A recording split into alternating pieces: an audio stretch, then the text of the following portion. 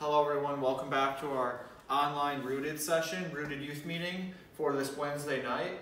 I hope that you were all able to gather with us for our online video conference call through GoToMeeting earlier today. It was awesome. There was a great game, there is great discussion, and a great lesson. This is the same lesson just in case you missed it. So if you're at that conference call, you don't have to watch this. If you weren't there, I would strongly encourage you to pay attention, to text me about any questions you have, talk about these things with your family, so we can all continue to grow during this time. And as we're in uncharted waters and unprecedented times with what's going on in our world, I really, really hope you know that you're not alone. I keep on saying this, I'm going to continue to say it. I'm here for you, Stephen's here for you, our church is here for you, God is here for you, and no one is going anywhere. We are here for you, so just let us know how we can best minister to you during this time. Text us your prayers, your concerns, anything we can do for you. We're here for you and we want to help in whatever way we can. And during this time, as we get started with our lesson for tonight, it's really hard to think about that Easter is right around the corner, coming up really quickly. And I personally don't like that we might not be able to gather together. Know a lot of people don't like that either. But we're going to do the best we can. But it's still hard to believe that Easter is coming. So, what you can do is, what is your favorite Easter tradition? If you want to text me that, call me and let me know. Please do. I would love to hear from you about what's your favorite thing that your family does on Easter. For me personally, I loved the family Easter egg hunts we used to do. My parents would hide stuff around the house. We'd have a bunch of small eggs with like small Tootsie Rolls and candy, and then we'd have one big basket for each of us. My sister would have one, I would have one, and my younger brother would have one. And it was just a lot of fun being able to see all this stuff. And then, of course, I always loved going to church when I was um, a little bit older and I found my faith. But there was this one story I remember, or one time, I should say, from Easter that I remember that we were traveling to my aunt and uncle's. And this was the aunt and uncle that no one in my family really got along with, but we wanted to be close with because they were family. And during this time, it was difficult because we did, my family got into a fight with my aunt. And as much as we wanted to be there to support our family, I was a little kid and I just wanted to go home and play my video games and have our family Easter egg hunt. So I was sitting there thinking, why are we here? Is this even worth it for us to be here right now? And times like those are difficult, especially the times when we're asking, is it worth it? Like times when you've spent a lot of energy on something that turns out not to be worth the investment. Or times when we're going through something awful, but it ends up being worth it in the end. Because when we have to endure something awful, I've always found comfort is most powerful when it comes from someone who knows what it's like, knows what you're going through. And I don't know what kind of difficulty you're all experiencing right now. I'm guessing some of it comes from being stuck at home but maybe the difficulty is something you experience like a tough soccer practice, a broken bone, trying to eat those extra spicy chicken wings and having your mouth go on fire. Or maybe you've been walking through something much more difficult rejection, stress, disappointment, sickness, loss, being stuck at home with your family. Your families are awesome, by the way they love you. And I know this is a hard time for a lot of people, but we're in tough times. Or maybe the tough times you've experienced are pretty ordinary, but they can still be exhausting. It's like trying to navigate friend drama, get your grades up, learn a new skill.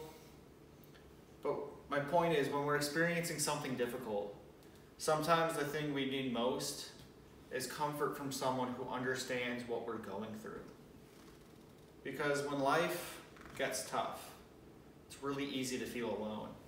Like we're the only ones who've ever experienced what we're going through.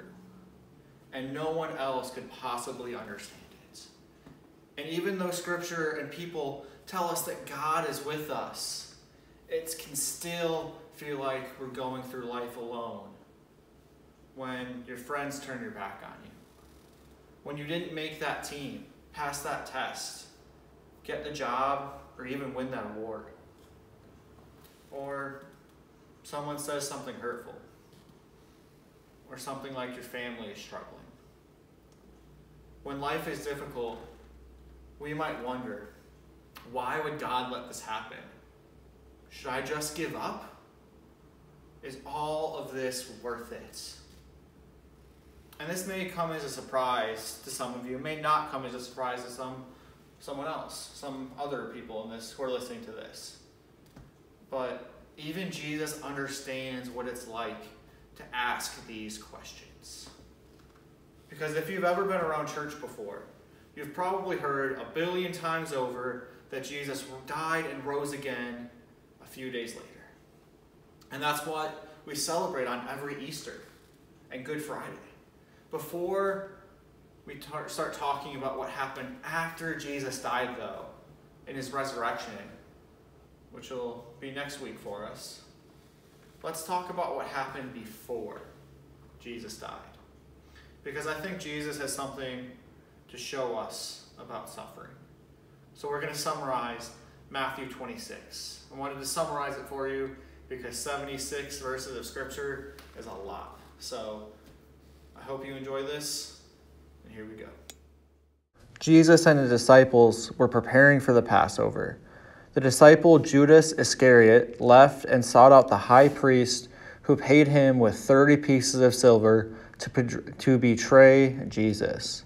The twelve men became distressed and very sorrowful when Jesus confided that one of them was about to betray him. In response, each disciple asked him if he was the one who would betray him. When Judas asked it in his turn, Jesus, Jesus replied that it was as he said. As they were eating, Jesus blessed and distributed the bread, telling them it was his body. Taking a cup of wine, he gave thanks to God and handed the cup around, telling them to drink as it was his blood.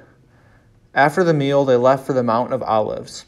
Jesus warned the disciples that they would fall from him that evening. Peter protested, saying that he would never fall away from Jesus. Jesus responded that Peter would disown him three times before the night was over. When they reached Gethsemane, Jesus asked his disciples to wait there while he prayed. Then he took Peter and the sons of Zebedee with him a little further. He asked them to wait and watch as he prayed. After instructing the three, Jesus walked a little farther and prayed to God to spare him if he could. He returned three times to find the disciples asleep. On the third occasion, he woke them, telling them he was about to be betrayed. As Jesus was returning from his prayers, Judas arrived with a number of armed men and kissed him, a prearranged sign. Jesus allowed himself to be arrested when one of the disciples tried to defend him with a sword, Jesus rebuked him, saying that those who use the sword shall die by it. Furthermore, he explained that he was allowing himself to be arrested so that Scripture would be fulfilled. Upon hearing this, the disciples ran away. Jesus was taken to the high priest's palace, where the scribes and elders put him on trial. Eventually, two witnesses testified that Jesus said he would tear down the temple and rebuild it in three days. When asked if he was the Son of God, Jesus told them they would see him seated at the right hand of God. The high priest protested that it was blasphemy, and the assembled officials agreed that Jesus deserved to die, beat him, and spit on him. When Jesus was taken, Peter followed at a distance and sat in the courtyard waiting to hear the result of the trial. A servant girl recognized him as a follower of Jesus, but Peter denied it. Another servant saw him and told the onlookers that Peter was with Jesus, but again he denied it. When another bystander accused him of being Jesus' disciple, Peter denied it for a third time, cursing and swearing. Immediately after doing so, a rooster crowed, and Peter remembered what Jesus had told him. Therefore, he left the city and wept bitterly. Let's take a moment to go back to verses 36 to 39 here, because they are very important. They go like this Then Jesus went with his disciples to a place called Gethsemane, and he said to them, Sit here while I go over there and pray. He took Peter and the two sons of Zebedee along with him, and he began to be sorrowful and troubled. Then he said to them, My soul is overwhelmed with sorrow to the point of death. Stay here and keep watch with me. Going a little farther, he fell with his face to the ground and prayed, My Father, if it is possible, may this cup be taken from me, yet not as I will, but as you will. So, in this one chapter that we just summarized, Jesus experienced more suffering than most of us can probably imagine. He said goodbye to his friends, was plotted against, betrayed, let down by everyone he loved, arrested, taken to trial, sentenced to death, spit on, beaten, betrayed by two close friends, and a lot more. We might imagine Jesus in this way, but it's hard to see. It's hard to hear. Because we might imagine that Jesus walked toward death with complete peace and composure.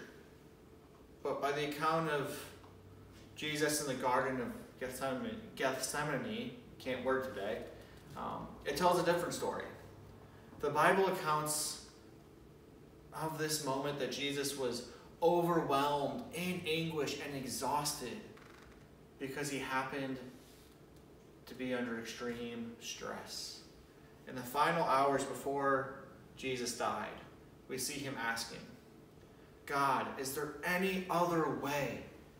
And I know if I was Jesus in this, I would be asking another question too. God, is this worth it?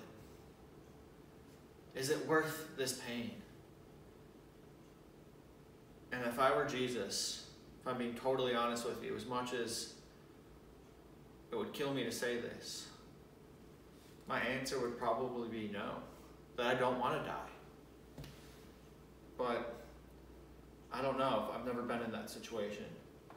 So, but not only did Jesus suffer, but many people in the first century suffered because of their faith in Jesus as well.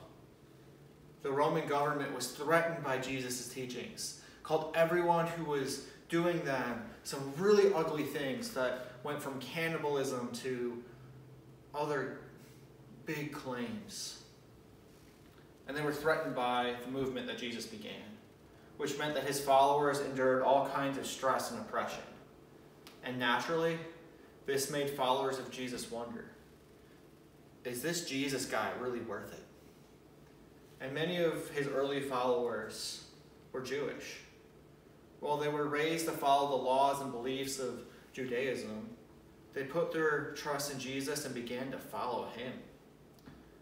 But in the face of persecution, many of them stood tall, but also many of them probably considered going back to their old ways, and some did. And that's where the book of Hebrews comes in. Hebrews was written as a letter to encourage these followers of Jesus who weren't sure of all the pain and suffering was worth it. And we don't know who wrote Hebrews, so I'll just refer to them as the author. But the author tells these followers of Jesus to stay strong, to not drift away, and to remember that Jesus understands what it feels like to suffer. So pay attention to these few verses here as you can understand a little bit about what the author of Hebrews was telling its audience and is telling us today. But we do see Jesus, who is made lower than the angels for a little while, now crowned with glory and honor because he suffered death, so that by the grace of God he might taste death for everyone.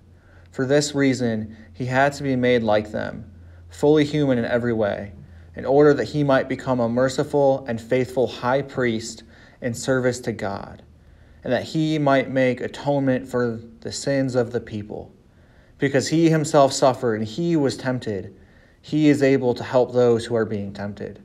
Therefore, since we have a great high priest who has ascended into heaven, Jesus, the Son of God, let us hold firmly to the faith we profess. For we do not have a high priest who is unable to empathize with our weakness, but we have one who has been tempted in every way, just as we are. Yet he did not sin. Let us then approach God's throne of grace with confidence, so that we may receive mercy and find grace to help us in our time of need. The writer says that Jesus is our high, great high priest. And this is a Jewish concept that readers would have understood well. In Judaism, a high priest was someone who made sacrifices to God when people were sinful or messed up.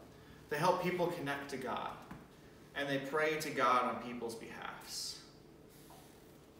But then we see a different way that Jesus is perceived as a high priest here for the Jewish people and followers of Christ.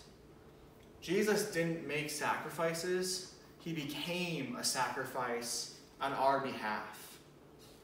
He gave up his own life to make a new way for us to connect with God now and forever. Jan, Jesus also represents us before God.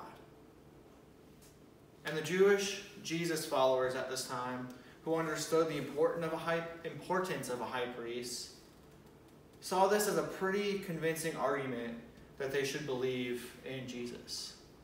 But other Christ followers weren't struggling because they needed to be convinced that Jesus was God, but because life got hard. They didn't just need a convincing argument that they needed comfort in the midst of their suffering. That's what they needed. So the writer of Hebrews pointed them back to Jesus their Savior who suffered, our Savior who suffered. The writer of Hebrews reminded them that Jesus understands what it's like to have a close friend turn their back on you, to feel like everyone hates you, to lose someone we love, to be tempted to doing something that we know is wrong, to be rejected, and to hurt so much that we start to question God. The writer of Hebrews told the early followers of Christ, and us too, to hang on, to remember that Jesus knows what it's like to suffer, and to know that Jesus is with us in whatever difficulty we face.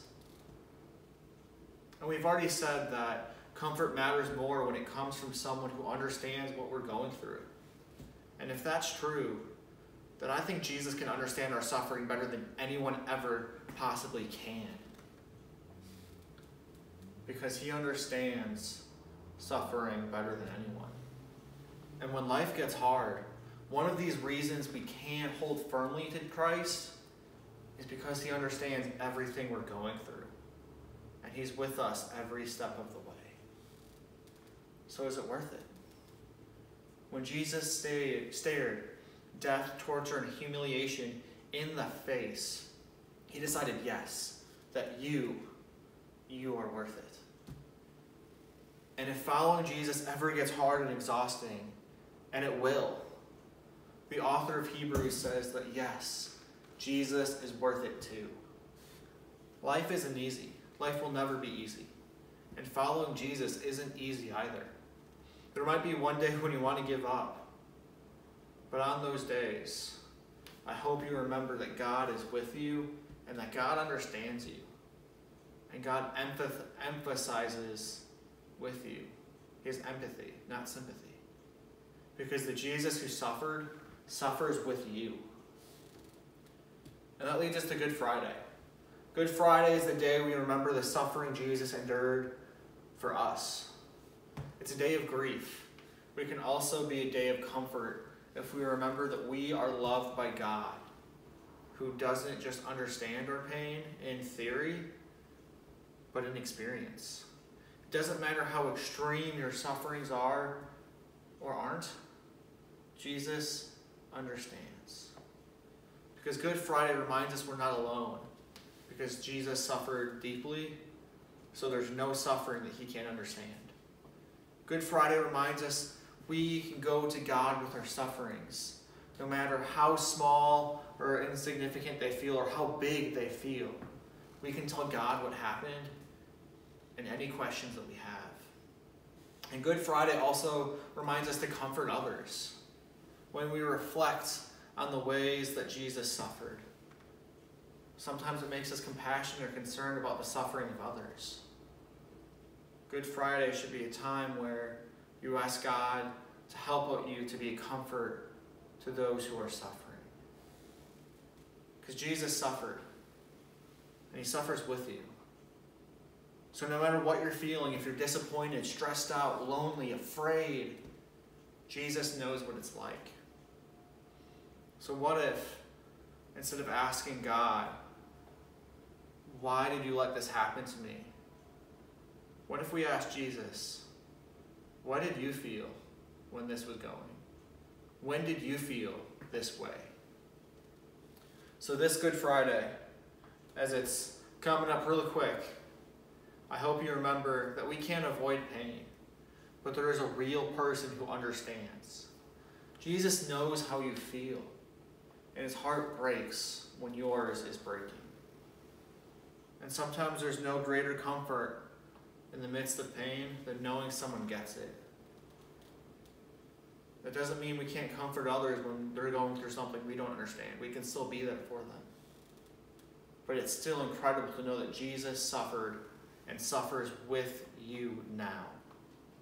And on Good Friday, and in this time with COVID 19, or as, some, as I call it sometimes too, the coronavirus, that's really good news. It means we're not alone. That no matter what we're going through, Jesus went through it too. And Jesus is with you. So please, as we finish today with this last statement, please know I'm here for you. I may not know what you're going through entirely, but I love you, and whatever you need, just reach out to me. I'll do whatever I can and whatever is in my power to help you in any way I can. Stay safe, stay healthy, and I look forward to meeting again with you as soon as we possibly can.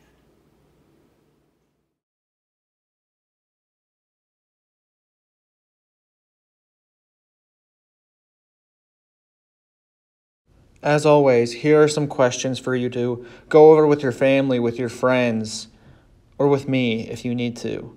I strongly encourage you to talk about these questions, to talk about today's discussion that we had on Easter and Good Friday and how Christ suffers with us. I hope you are all well, you're safe, and you're healthy. Know once again that I'm praying for you, and I'm not going anywhere. Hope you're all having a great week. Thank you, and I look forward to seeing you soon.